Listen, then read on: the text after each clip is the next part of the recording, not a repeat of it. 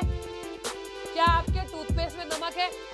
हाँ तो टूथपेस्ट में नमक क्या होता है? सोडियम क्लोराइड क्या आपकी ज़िंदगी में नमक है? अभी तो नहीं। ठीक है, लेकिन आ जाएगा